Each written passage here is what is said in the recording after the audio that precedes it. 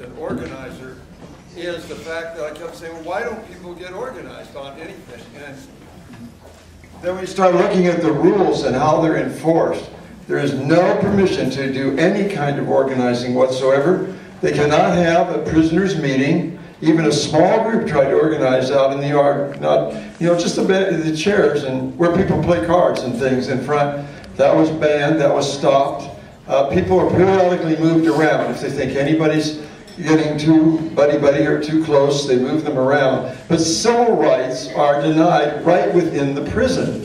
And I think that's a, a one place that people could start. Books are denied too. I've, Yeah, my books book are has been banned at many right. prisons already. That's right, that's right. Yeah. Some books have none whatsoever, but uh, that's a, a real issue for, and yet there's some very, very talented, gifted people in that population that could do a lot, simply to make life better, but uh, are not allowed to.